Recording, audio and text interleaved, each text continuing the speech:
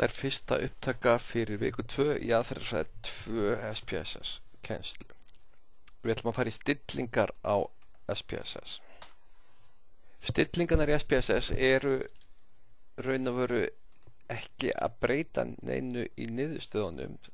heldur er þetta viðmótið fyrir okkur notenduna sem við erum að breyta.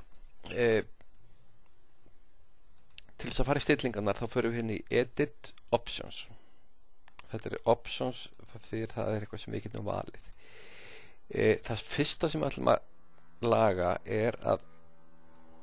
við ætlum að hafa hérna undir General flipunum ætlum við að breyta variable list ætlum að hafa Display Names. Stundum er það að hafa Display Labels en í þessi námskeiði þá munum við gera ráð fyrir að stillingi sér Display Names. E, það er óvíst hvernig reiknistofna háskóli setur upp tölvukerfið þannig að það getur verið að með þessari nýju útgáð sem er núna þá hafið við sett hérna display labels. En við ætlum að tryggja það að setja display names. E,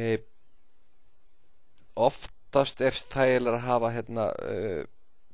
breyturnar breytunum raðað eftir því hvernig það er skráni en frekar heldur í stárásöð þið megi sjálfsögð að hafa þetta í starfsögð en það bara vitið að þið hefðu breytti e, næst ætlum við að breyta hérna í viewer flipunum þá ætlum við að ganga úr skökkum það það sé haka við hér display commands in the log.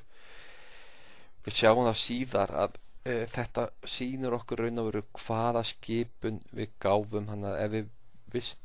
ef við vistum útskriftaskjalið þá sjáum við skipunina í útskriftaskjalinu sem getur verið mjög þægilegt eftir á sérstaklega ef, ef við erum að villu hérna, leita að villum þá er gott að vita hvað við e, gerðum.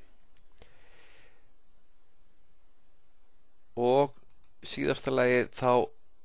langum við að benda ykkur á hérna að e, label að við skulum að stilla hérna þessa fjóra flipa hérna það sé alltaf neðsta gildið við að hafa names and labels hér values and labels hér names and labels hér values and labels hér þetta er þægilegra í þessu námskeiði en þið getur mögulega vilja breyta þessu tilbaka eða hafa aðra stillingar þegar þið er að fara að vinna